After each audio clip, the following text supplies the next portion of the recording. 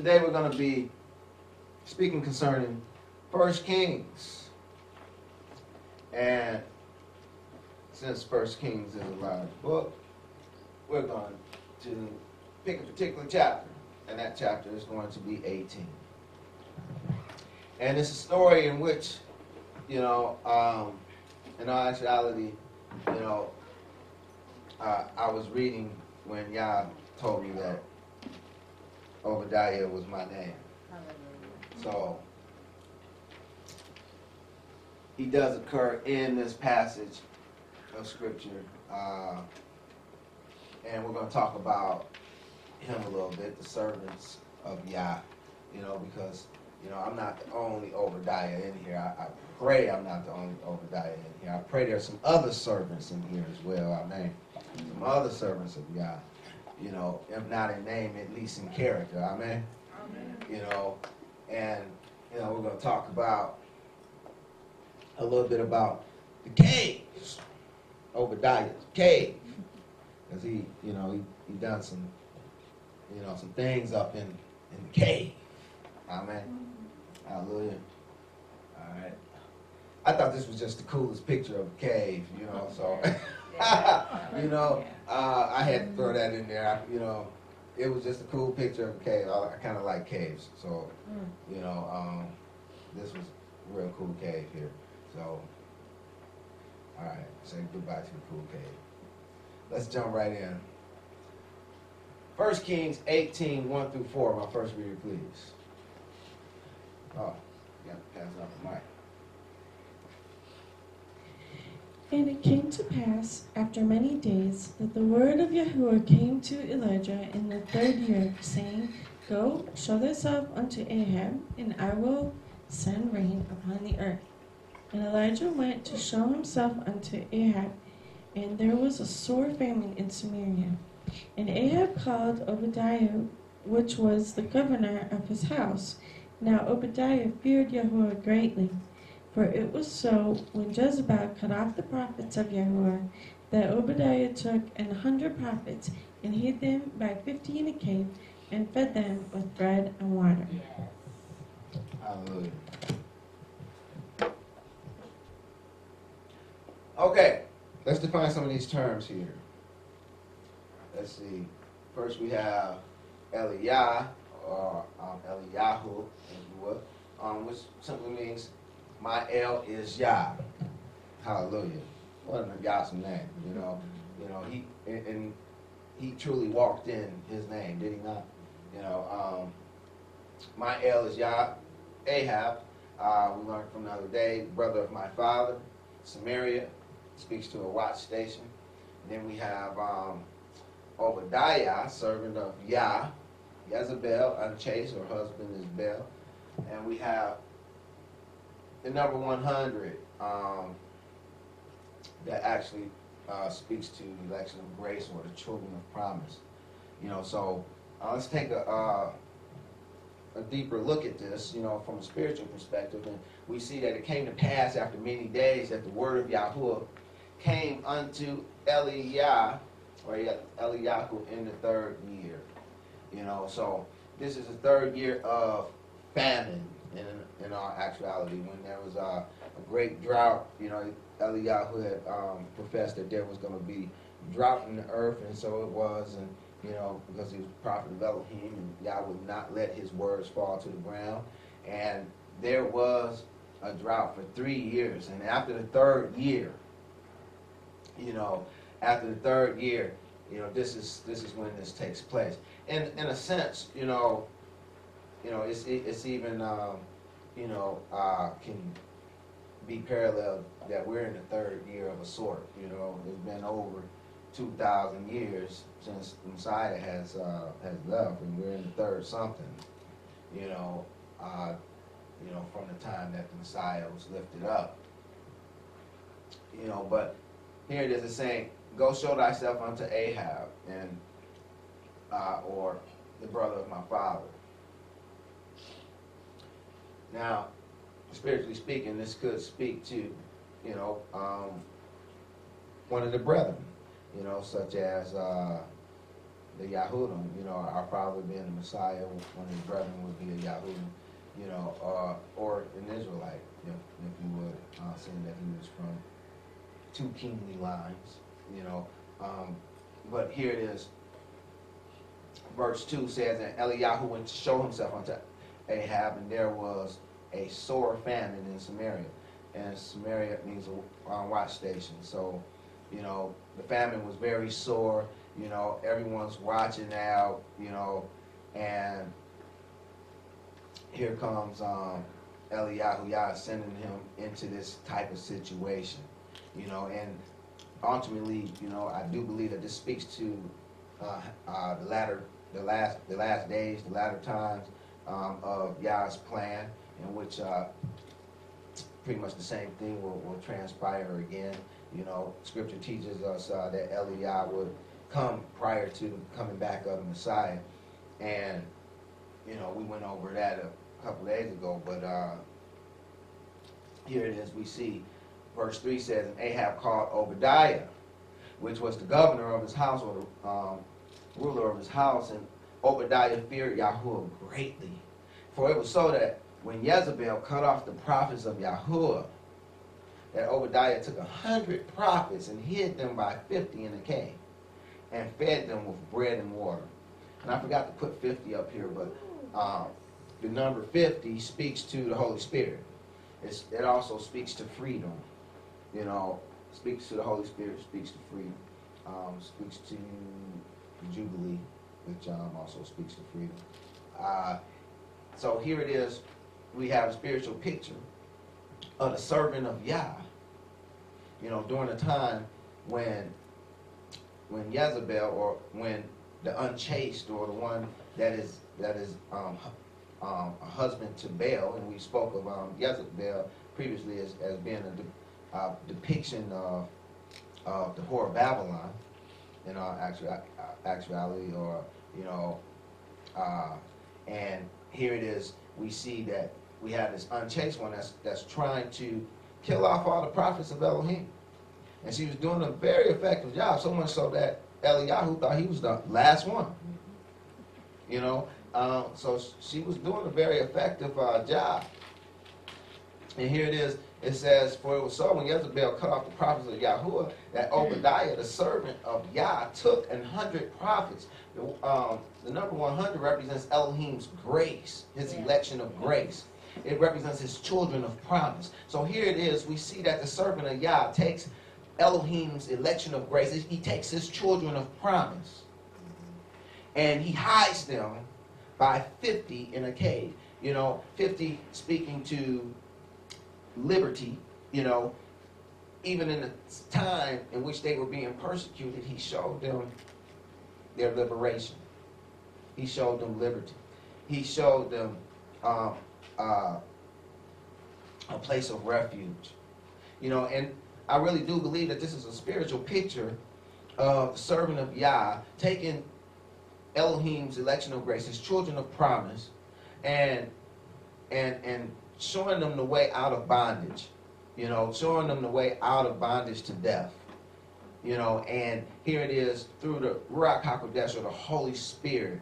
You know, he he uh, hides them in a, in a cave and um, with with the Holy Spirit in, in, all actuality, and he feeds them with bread and water. And bread speaks to, you know, uh, our Messiah, and water speaks to counsel. You know, because we know our Messiah is the bread of life. Amen. You know, so here it is. We see a beautiful picture of the servant of Yah. You know, during a time of, of great peril for the prophets of Yah. You know, he hides them in the Ruach Hakodesh. You know, and feeds them with bread and water, with the teachings and instructions of our Messiah, Yahshua, and with Elohim's counsel. It's a beautiful picture. I, pray pray you all can see that. You know, uh, moving on, we have verse 5, which says, And Ahab said unto Obadiah, Go into the land unto all the fountains of water and unto all the brooks. Peradventure, we may find grass to save the horses and the mules alive, that we lose not all the be, all the beasts. Okay, so now here it is, we see another dynamic to this to this time, you know, and it is that you know um, during the time of this great famine, it's in the third year, you know that uh, food is very scarce. You know, food for the animals um, even is scarce, and we know they eat some of everything. You know, um, and here it is. It says, you know, he's telling Obadiah to go into the land unto all the fountains of water and to all the brooks. You know, and the fountains and, and brooks has a significance in Scripture. In Proverbs 13, um, I'm sorry, 18:4, we read, "The words of a man's mouth are as deep waters." So again, we see that speaking to that counsel, and the wellspring of wisdom as a flowing brook. You know, so he's he's uh, trying to send he's trying to send Obadiah over to the fountains and, and to the fountains of water and to the brooks, you know, um, because you know he's looking for grass, and we're going to get into the grass momentarily. Also, we have um, Proverbs 13, 14 that says, "The law of the wise is a fountain of life to depart from the snares of death." You know, and so here it is. We're seeing some spiritual significance to to him sending them to these fountains. He's sending the servant of Yah over to the places where Yah's counsel is. You know, uh, going to the places where Yah's wisdom is. You know, we have Yirmiyahu 2, 12, and 13. It says, Be astonished, O ye heavens, at this, and be horribly afraid. Be ye very desolate, saith Yahweh. For my people have committed two evils. They have forsaken me, the fountain of living waters, and hewed them out cisterns, broken cisterns that can hold no water. And this is truly what the people had done then, and this is truly what they have done today, you know, in all actuality. You know, and Yahuwah is saying that they have forsaken him who is the fountain of living waters. Okay, so here it is. We see Obadiah. He was going to to those who were wise.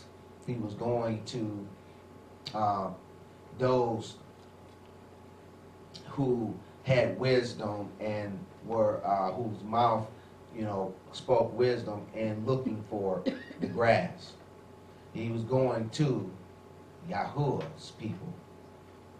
You know, for Yahuwah is the fountain of living waters.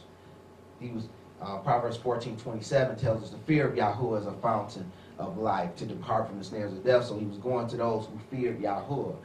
Proverbs 25, 26 teaches us a righteous man falling down before the wicked is as a troubled fountain and a corrupt spring. So we see here that um, the righteous man, you know, is also likened unto a fountain. You know, now, unfortunately, this is one that's fallen uh, before the wicked, and he's as a troubled fountain. And, you know, and this, this word troubled, uh, I think it's shakar, and it actually is, it is, uh, I'm pretty sure it's like shakar, I forget the number, but it, it means like muddied water. You know, so a righteous man is falling down before the wicked is as muddied water in a corrupt spring. You know, you don't want no mud in your water, amen? You want to keep it clean. And again, you know, verse 5 of First Kings, it, it speaks of Obadiah going into the land to these fountains. You know, we just learned that spiritually speaking, the fountain speaks to um, the wise. It speaks to those those who fear Elohim. and It even speaks to the living waters of Elohim, which we know um, flow from our Messiah's belly as well as those who follows him. Amen. You know, now they're going to them that they might peradventure find grass. And spiritually speaking, um, and scripturally speaking, grass typifies the flesh, which hence we read in Yeshayahu 46 through 8 and 1 Peter 1 22 through 25 how grass is being likened uh, to people. Come on, next reader read Yeshayahu 46 through 8 and 1 Peter 22 through 25, please. And the voice said, Cry. And he said, What shall I cry? All flesh is grass, and all the goodness thereof is as the flowers of the field. The grass withered, the flower faded, because the Spirit of Yahuwah bloweth upon it. Surely the people is grass. The grass withered, the flower faded, but the word of Elohim shall stand forever. Seeing ye have purified your soul in obeying the truth through the Spirit unto unfruited love of the brethren, see that ye love one another with a pure heart fervently, being born again, not of corruptible seed, but of incorruptible, by the word of Elohim, which liveth and abideth forever. All flesh is as grass, and all the glory of man is as the flower of the grass. The grass withered, and the flower therefore fadeth away. But the word of Adonai endured forever. And this is the word which by the gospel is preached unto you. Hallelujah. Okay, so here it is. We see that King Ahab sends servant of Yah into the land to find the fountains, those who are who are wise um, in the word of Elohim, and uh, representing the fountains and the brooks, that they might find grass. And hereby we learn that grass is likened to all flesh. It says, you know, what shall I cry? All flesh is grass, and as and all the goodness thereof is as the flower of the field. It's going to wither and it's going to fade away. Surely, the people is that is grass. You know, also they believe that which they follow. You know, and they think that they're serving the eternal King. They think that they have the truth. You know, and, and they think that they're you know enduring the test. You know, for uh, for their final destination. And they think that they have the Holy Spirit. So I pray you can see the picture that's going to be taking place. You know, even the picture right now today. You know, many many um, self-professed Christians believe these things. They believe that they have the truth. They believe they're serving the eternal King. They believe that, that they're they're being um, that they're being set up. You know, and what they're doing is you know for uh, for for their final destination. They believe they have the Holy Spirit. You know, but Eliyahu being only one bears the number of Elohim and the true unity with Elohim. You know, but these other prophets, they're so convincing, and there's so many of them. See, and so many people are swayed by numbers. You know, so many people say, well, you know, well, how can all these people be wrong and just this one guy be right? Really? You mean tell me everybody wrong? These 450 prophets, the other 400 prophets of uh, the groves, and all of them are wrong, and just just he's the only one got it right, right? You know, that's the same way that they look at us. That's the same way that they that, that they um adhere to us when we're trying to share the truth of Yah's word to the people now today, is it not? Same thing, you know. You want me to believe that all these two billion Christians got it wrong. But you and your little cult got it right. same thing. Very much the same thing. Verse 23 of 1 Kings 18 says, Let them therefore give us two bullocks and let them choose one bullock for themselves and cut it in pieces and lay it on wood and put no fire under. And I will dress the other bullock and lay it on wood and put no fire under. Okay, so here it is. You can understand how the people could be perplexed. Even as many other people now today are perplexed. They don't know which one to believe. You know, but they have the numbers on their side. You know, everybody's doing it. So Eliyahu says, okay, I have a solution. Yah, this is what Yah has told me to do. We're going to take two bullocks. Now, the bullock typified the house of Joseph. Hence, it was Ephraim's standard. You know, it it represented Israel in all actuality. because Ephraim became the, the king over Israel. And all the, the, the kingdom will always pass down from one Ephraimite to, to the next Ephraimite for the most part. Same as we saw with the um, house of David um, in Judah. Okay? Now, Eliyahu is trying to get Israel to either fully give or sacrifice themselves to Yah or Baal. Seeing, see, once you understand that the bullock actually represents Ephraim or Israel, you know, you can see that what Eliyahu is trying to do, he's trying, he's trying to say, okay, we have two bullocks here. We have, they both represent Israel. We have one that represents their sacrifice to Yahweh, and the other one that represents their sacrifice to Baal. Okay, so we're going to put both of them on the altar and let the one that Yah answers be the true Elohim. Now, jumping ahead of myself, but um, here it is. We have some passages that speak to the house of Joseph representing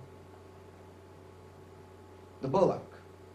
Deuteronomy 33, 13 through 17, it says, And Joseph, and of Joseph he said, and this is the um, prophecy that uh, that Moshe gave to the houses of um, to different uh, uh, tribes of Israel before he died. It says, Blessed of Yahuwah, of Yosef, he said, Blessed of Yahuwah be his land, for the precious things of heaven, for the dew and for the deep that coucheth beneath, and for the precious fruits brought forth by the sun, and for the precious things put forth by the moon, and for the chief things of the ancient mountains, and for the precious things of the lasting hills, and for the precious things of the earth and the fullness thereof, and for the good will of him that dwelt in the bush. Let the blessing come upon the head of Joseph, and upon the top of the head of him that was separated from his brethren.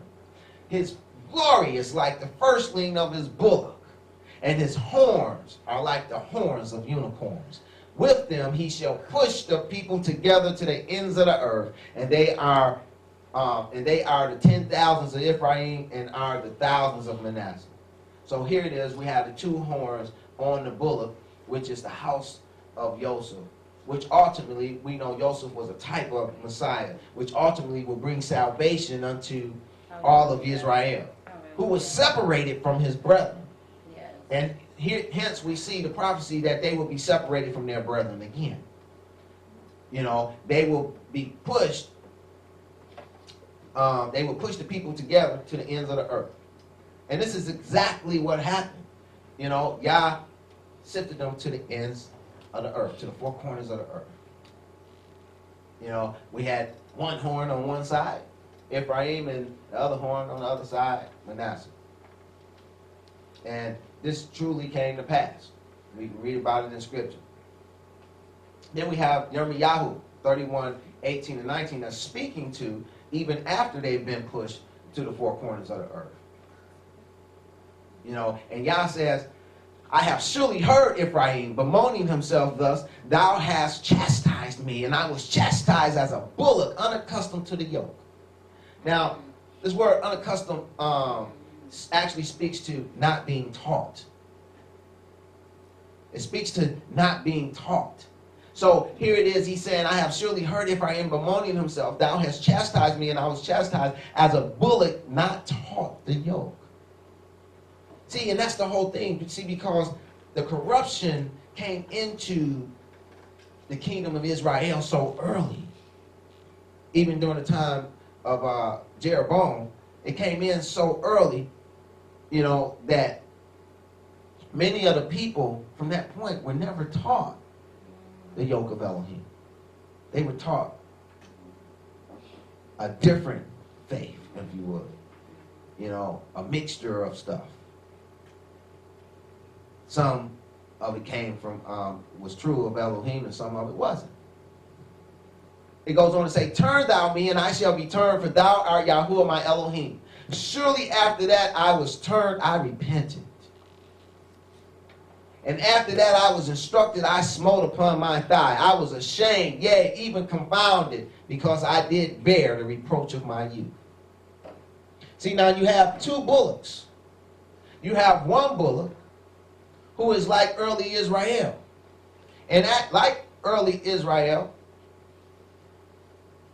they have been pushed to the four corners of the earth. And like early Israel, you know, they, they're worshiping Baal. They're worshiping these pagan gods. You know, but you have a second uh, Ephraim who have accepted Yahshua, you know, and they're beginning to be taught the yoke, even in the yoke of Yahshua, which is light, and the burden of Yahshua, which is easy. See, they're beginning to be turned. Hallelujah. They're beginning to be turned for Yah. Surely they're beginning to repent. Yes. They're beginning to be ashamed of the wickedness that they've been walking in, even confounded, because they're looking back on their youth and saying, Wow, how far I've strayed from the will of my Elohim. First Kings 18, 24 through 26. My next reader, please.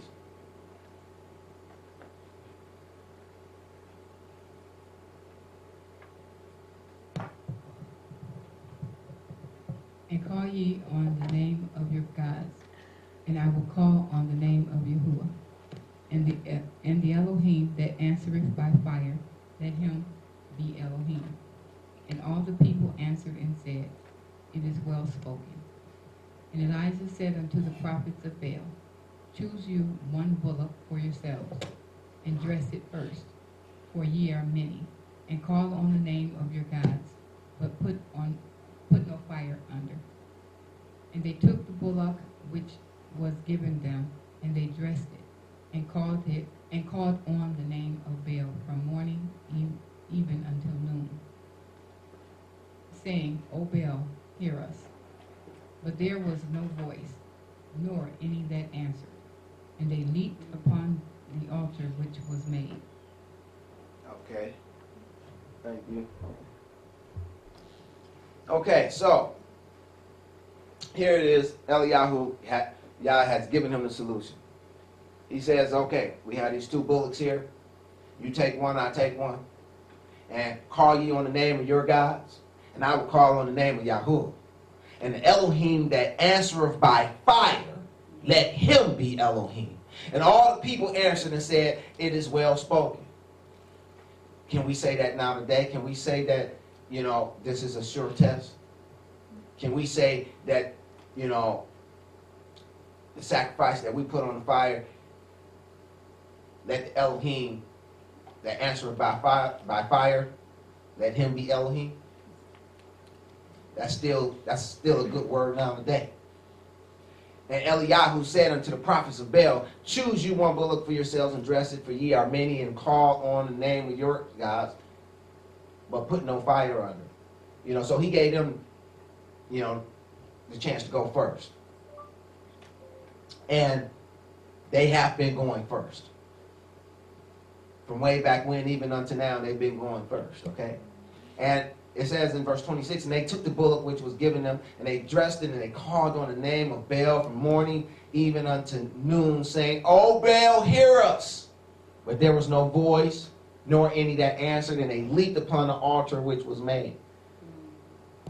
You know, they still been leaping on that altar. They still have Israel on that altar. They still are calling on the name of Baal. And there still is no fire. But the Elohim that answereth by fire, Hallelujah. let him be Elohim. Yes. Hallelujah. You know, I want to present to you the next bullock, the bullock that Eliyahu uses. The bullock that whose El is Yah, Hua uses. Romans 12, 1 and 2. It tells us, I beseech you, Therefore, brethren, by the mercies of Elohim, that ye present your bodies a living sacrifice, holy and acceptable unto Elohim, which is your reasonable service. And be not conformed to this world, but be ye transformed by the renewing of your mind, that ye may prove what is that good and acceptable and perfect will of Elohim. This is what the bullock of Eliyahu looks like. It looks like you and I.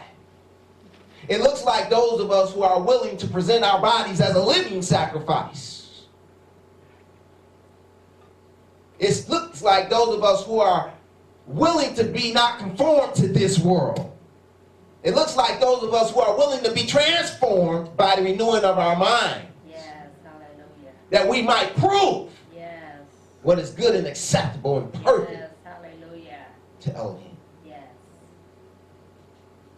Now, I have you know that each sacrifice had to be salted.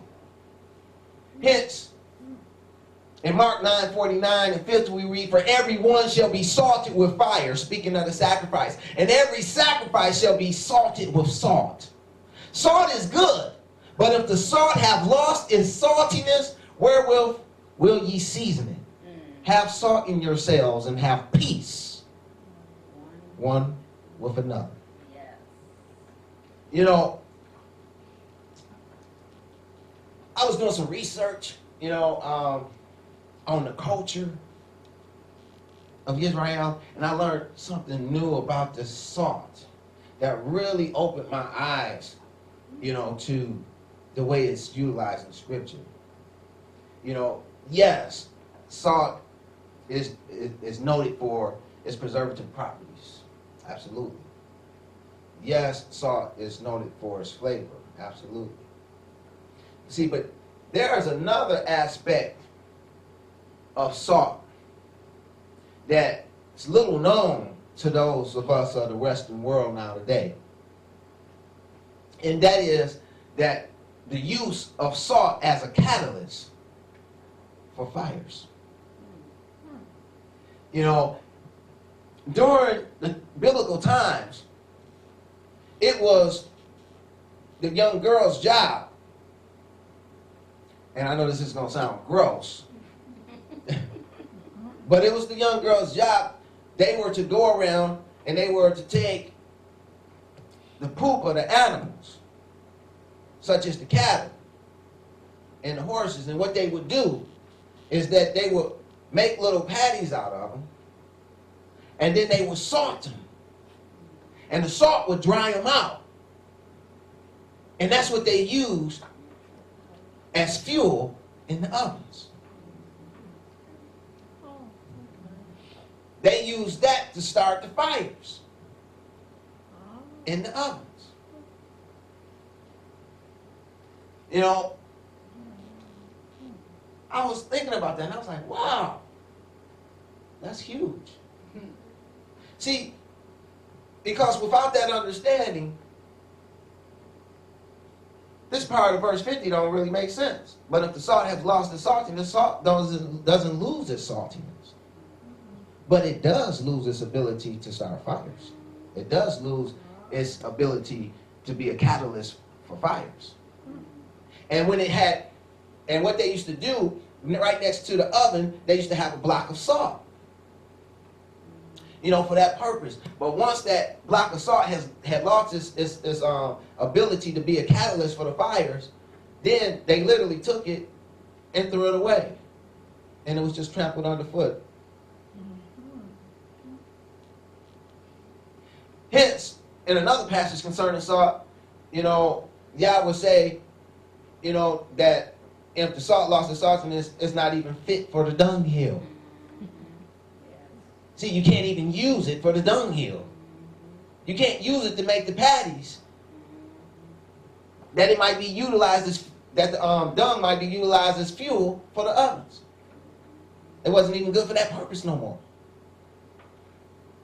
But to be thrown out and trampled underfoot. They used to use it to throw it in like the mud and stuff, you know, so that they can have the animals and, and themselves can have footing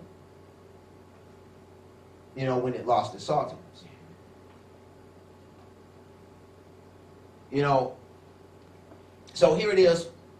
We see that the bullock that's likened unto Eliyahu's bullock speaks to those who are willing to present their bodies as living sacrifices, those who are willing to not be conformed to this world, but to be transformed by the renewing of our minds, those of us who are willing to be salted with fire. Also, we read in Hebrews 12 29, it says, For our Elohim is a consuming fire. No fire, no Elohim. No Elohim, no fire. Hence, the false prophets of Baal are still trying to get fire without Elohim. See, but they can't get fire without Elohim for the same reason they can't get Elohim without the fire. Because Elohim is a consuming fire. Yochanan 3.16, Yochanan answered, saying unto them, and this is speaking of Yochanan the immerser, answered saying unto them, I indeed baptize you with water, but one minor than, than I cometh, the latchet of whose shoes I am not worthy to unloose. He shall baptize you with holy um, ghost or Ruach HaKodesh and with fire. The fire that came down from heaven. That lit a fire to Eliyahu's sacrifice to his bullock was even our Messiah, Yahushua. Luke 12, 49 through 53. I am come to send fire on the earth. And what will I if it be already kindled? But I have a baptism to be baptized with. And how am I straitened till it be accomplished? Suppose ye that I am come to give peace on the earth? I tell you, nay, but rather division. For from hence there shall be five in one house, divided three against two, two against three. The father shall be, uh, be divided against the son, and the son against the father, the mother against the daughter, and the daughter against the mother, and the mother-in-law against the daughter-in-law, and the daughter-in-law against her mother-in-law. And that's the way it is now today. It is, yes. You have those of us who, who walk in the ancient paths, and we're at deference with our families and friends, with those even of our very own household. Yes. Our faith has brought division.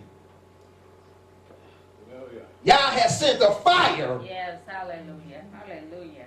under the sacrifice. That fire has come from the heavens Hallelujah.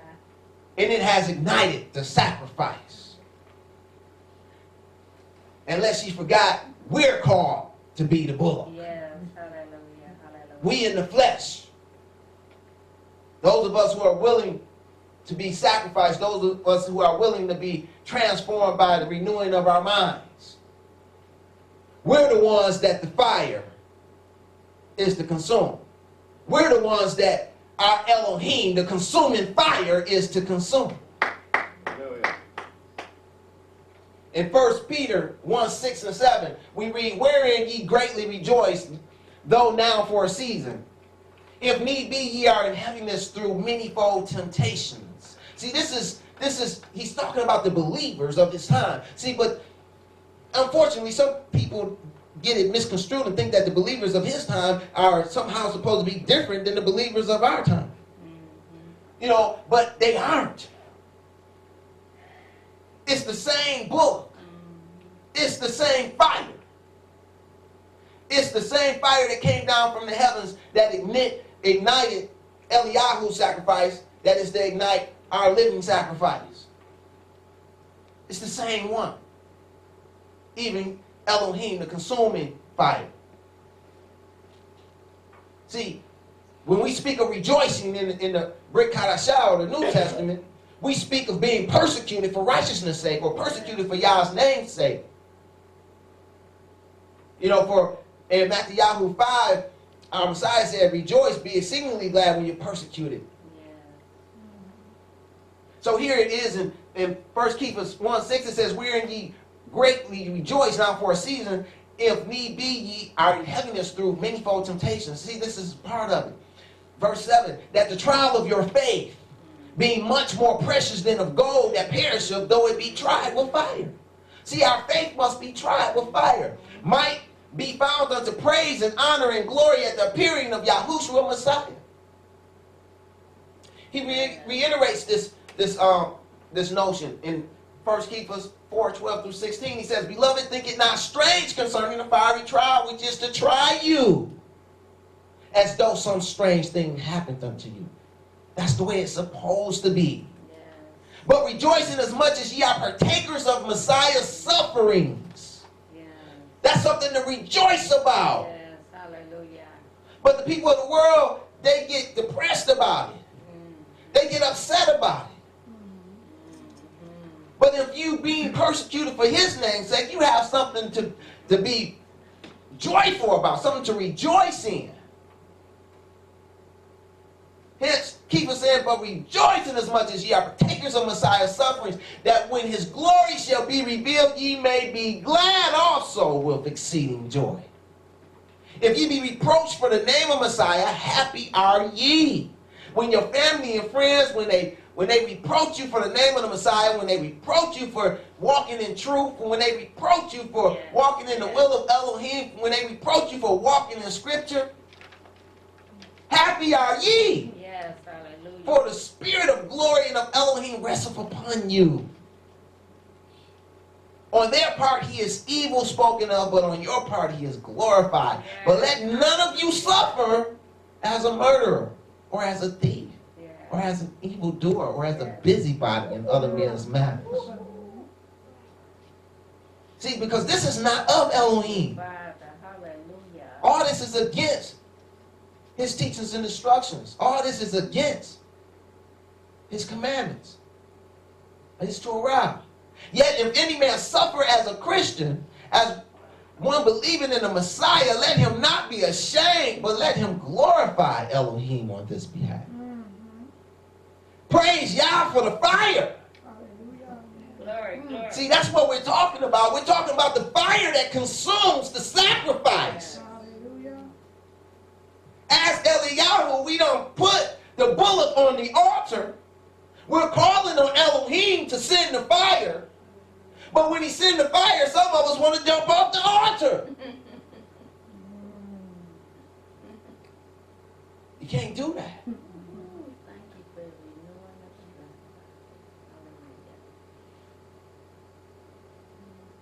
Again, 1 Kings 18 24. And call ye on the name of your gods, whoever they may be. Whether it's Baal, Ishtar, Buddha, Allah, whoever you want to call them, whoever it may be. Put your sacrifice on the altar, your living sacrifice that's supposed to be holy and acceptable and see if it's accepted. And I, I, Obadiah, for one, I will call on the name of Yahuwah and the Elohim that answereth by fire. Let him be Elohim. And all the people answered and said, It is well spoken. If you truly want to walk this thing out, this is how you do it. Hallelujah. And the true Elohim will answer by fire. Hence we read, all that suffers uh, um, persecution, all that live godly shall suffer persecution. As I say oftentimes, it's built in. Elohim will answer by fire. That's all I have for you today. Pray with a blessing.